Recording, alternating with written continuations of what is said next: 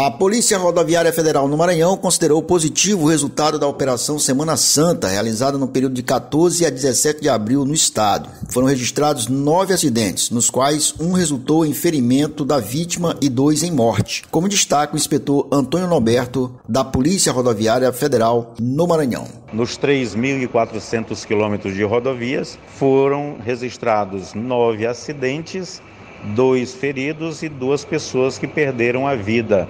O resultado é considerado positivo pela Polícia Rodoviária Federal, porque na média diária são quatro acidentes por dia e durante a operação ficou em 2,3 a quantidade de acidentes. O número de óbitos considerado também relativo e a quantidade de feridos foi um número muito baixo, considerando a média que é de três ou quatro pessoas feridas por dia.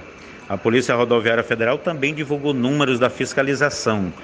3 mil veículos abordados, 3 mil, um pouco mais de 3 mil pessoas fiscalizadas, muitas das quais foram multadas por problema por embriaguez ao volante, é, outros por falta do cinto de segurança, ultrapassagem a clive em pontes, acostamento, motociclistas sem capacete, dentre outras infrações. A Polícia Rodoviária Federal informa também que alguns dos acidentes foram provocados por buraco na pista. Algumas rodovias, como a BR-135, especialmente entre o trecho de Piritoró e Presidente Dutra, ou a BR-222 entre Miranda do Norte e Santa Inês, apresenta muitos buracos e que podem provocar danos ao veículo caso o condutor não esteja atento.